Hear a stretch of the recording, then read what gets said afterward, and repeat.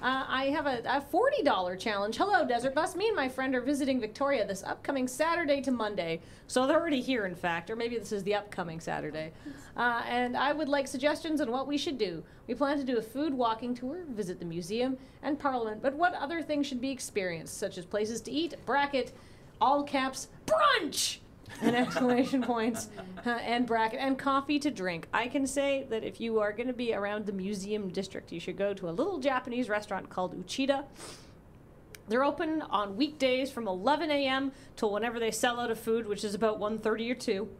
Uh, but there's really good traditional Japanese food made by Japanese people. So if you want all sorts of uh, exotic pickles, things that you, if you want to find out what a pickled burdock tastes like. Surprise, better than you'd think, given the name. Uh, you can go there and it's really good. They've got like the, the pressed box sushi, the Batera sushi. is really good. I really like it. Go there, Uchida. Uh, brunch restaurants, there's a million good ones. I'm partial to the Blue Fox if you order the Oranges del Sol French toast.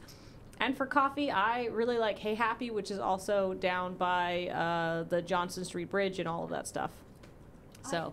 I have a couple of, of brunch suggestions uh, because brunch is a, I mean, as, as, as implied by the question itself, brunch is a very popular meal in Victoria, and as such, there are very long lines for most of the brunch places in town.